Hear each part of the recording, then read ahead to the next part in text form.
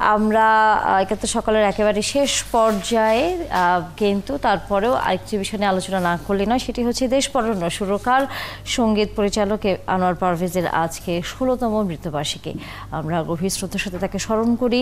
তার যেই, তিনি যে গুণী মানুষ ছিলেন, তিনি যে তার যে বিশাল কর্মযোগ্য সেটি নিয়ে বাংলাদেশের সংগীত, বাংলাদেশের চলচ্চিত্রের যেই সঙ্গীতগুলোকে এখনও অনেকের মুখে মুখে কিন্তু ফেরে।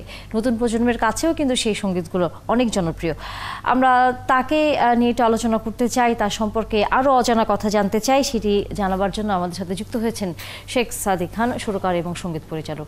শেখ সাদিক খান, অসংখ্য ধন্যবাদ। শুভ সকাল, সকালবেলা আপনি আমাদের সাথে যুক্ত হয়েছেন। আমরা কথা বলতে চাই আপনার সহযোদ্ধা, সহকর্মী আনোয়ার পারভেজকে নিয়ে।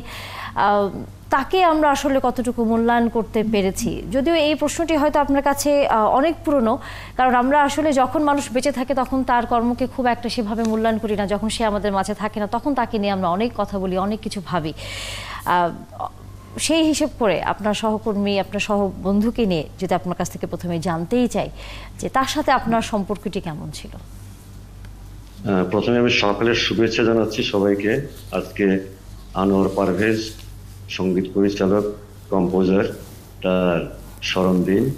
সেই স্মরণ দিনে আমরা তাকে স্মরণ করছি, সেটা এক ধরনের প্রাপ্যতা বলব আমি। কারণ হচ্ছে আমরা আসলে গুণীদেরকে সঠিক সময়ে সঠিক সময় মূল্যায়ন যেমন করতে পারি না, আমরা তাদেরকে মূল্যায়ন করিও না।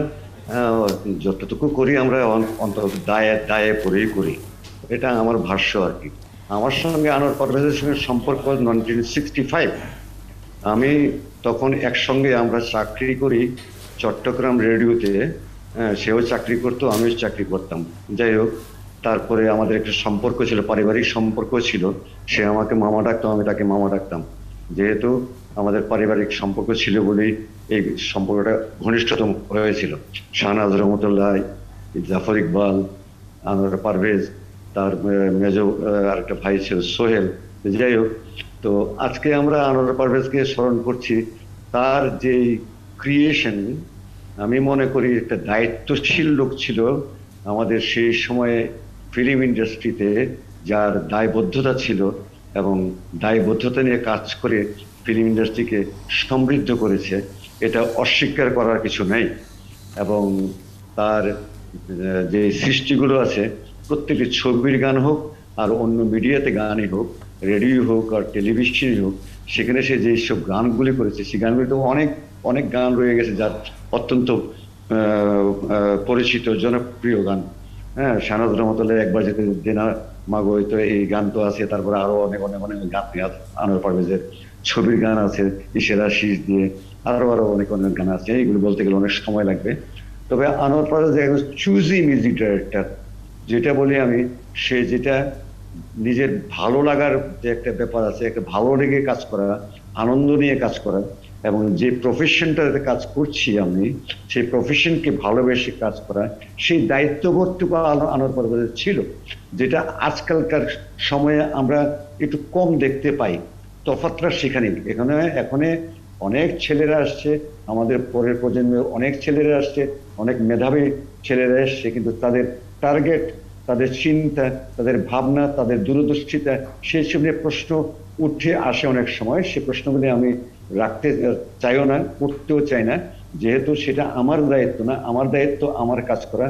আনোয়ার পারভেজের দায়িত্ব ছিল আনোয়ার পারভেজের কাজ করার আলাউদ্দিন আলীর দায়িত্ব ছিল আলাউদ্দিন আলীর কাজ করার সত্য সার দায়িত্ব ছিল সত্য সার কাজ করার আমি সবার কথাই বলতে চাচ্ছি যার যার জায়গা থেকে তারা প্রত্যেকেই যার যার দায়বদ্ধতা নিয়ে, দায়িত্বশীলতা নিয়ে আমরা কাজ করার চেষ্টা করেছি।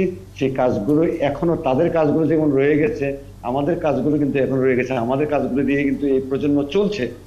এটা অস্বীকার করার কিচ্ছু নেই সেখানে। তো আমরা চাইব যে যারা চলে গেছেন, আমাদের কাছ থেকে অনেক অনেক সংগীত পরিচালক, অনেক অনেক শিল্পী, অনেক অনেক গীতিকার, অনেক অনেক আমাদের সঙ্গীতাঙ্গন থেকে অনেকে চলে গিয়েছেন।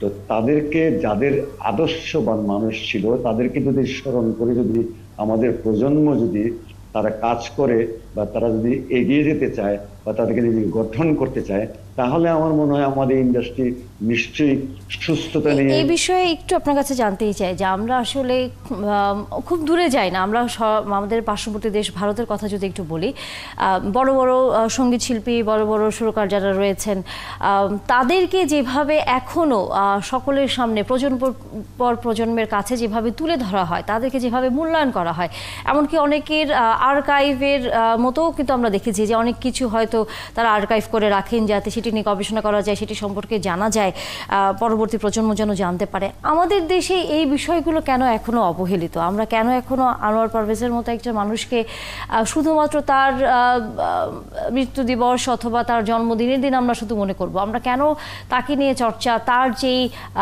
সুরের যেই ধরনের সৃষ্টি তার ভিতর ছিল, সেটি নিয়ে গবেষণা করা, সেটি নিয়ে আলোচনা কেন আসলে আমরা করি না? এটা এটা আমাদের এক ধরনের দৈন্যতাই মনে করব আমি। এটা আমরা আসলে মানুষকে প্রাণ, প্রা- প্রাণ থেকে মূল্যায়ন করতে পারি এইটুকু অনেক সময় বিশ্বাস করতে একটু কষ্ট হয়, অনেক অনেক কষ্ট হয়। তো ভারতের সঙ্গে আমাদের তুলনা করা উচিত না, বিশেষ করে সাংস্কৃতিক জগতের সঙ্গে, আমাদের সাংস্কৃতিক জগতের সঙ্গে তুলনা করা মোটেই উচিত না নামই নেওয়া উচিত না। কেন, ওরা প্রত্যেকটি মানুষ, প্রত্যেকটি, যার যার স্বস্থানে তারা যেভাবে কাজ করে এবং তাদেরকে যেভাবে তারা ফোকাস করে এবং যার যার মূল্যায়ন করে, সেই মূল্যায়নটুকু আমাদের নেই। কেন নেই সেটা আমাদের গোড়া থেকেই বোধহয় আমাদের দোষ আছে বলে আমি মনে করি। সেটা হওয়া উচিত না। কেন আঠারো কোটি লোকের ভিতরে কয়জন বড় বড় সঙ্গীতজ্ঞ আছেন বাংলাদেশের ভিতরে?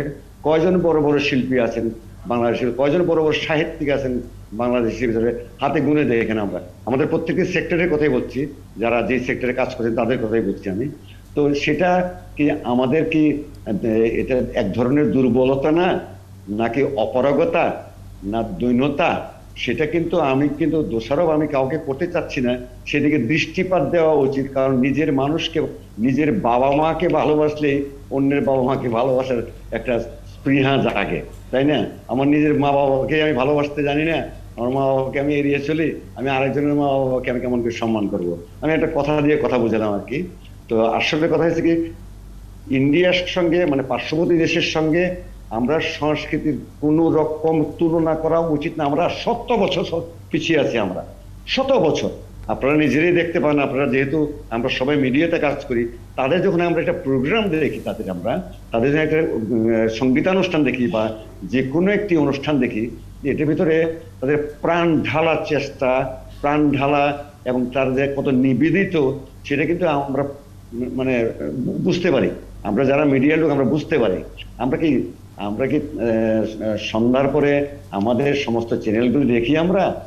কয়জন দেখি আমরা? এই প্রশ্নটুকু তো আমি রাখলাম সমস্ত চ্যানেলের কাছে যে আমরা এরকম অনুষ্ঠান করতে পারছি না কেন? এত গ্রেঞ্জার অনুষ্ঠান করতে পারছি না কেন? অনেক সীমাবদ্ধতা আসলে এবং আপনি যেভাবে কথাগুলো বলছেন সেটি এক অর্থে আসলে সত্যি যে আমরা আসলে আমাদের শিল্পীদের গুণী মানুষদের মূল্যায়ন আসলে করতে পারছি না। কেন পারছি না সেটি নিয়ে হয়তো বা বা কী করা উচিত কীভাবে আহ, বিকল্প কোনো ব্যবস্থা আমরা বের করতে পারি কিনা আলোচনা করব। আজকে আসলে আপনার সাথে কথা বলবার সময় একেবারেই শেষ। অসংখ্য ধন্যবাদ আপনি আমাদেরকে সময় দিয়েছেন এবং আহ, স্মৃতিচারণ করেছেন।